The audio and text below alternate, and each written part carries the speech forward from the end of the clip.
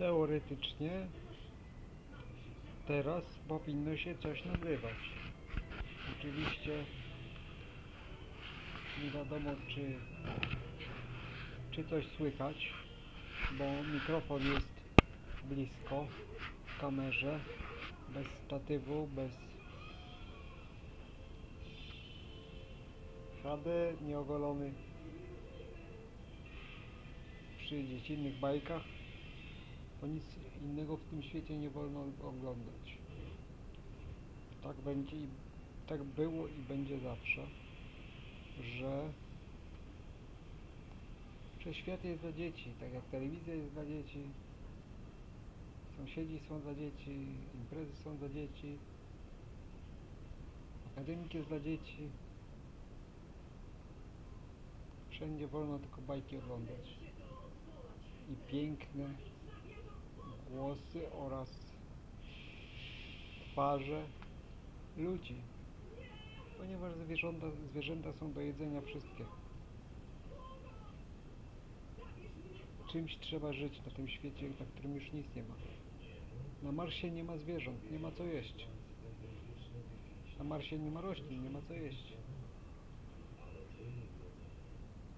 Kiedyś były zegarki.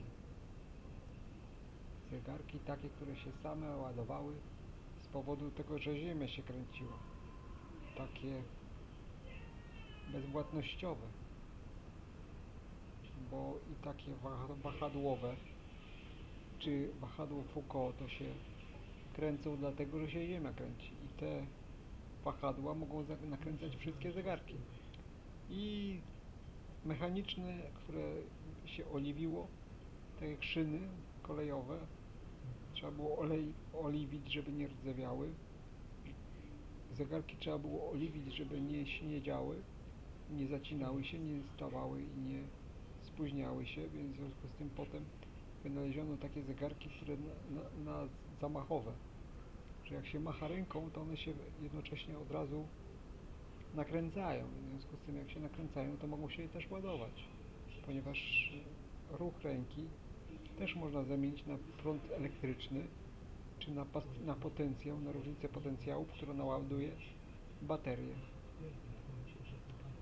W związku z tym nie trzeba ładowarek. No i producenci ładowarek powinni już zmieniać zawód. Bo to jest jak gdyby oczywiste, że niczego na Ziemi nie trzeba ładować, ponieważ wszystko się ładuje tym, że się Ziemia obraca. Że czasem jakiś метеор грохнет.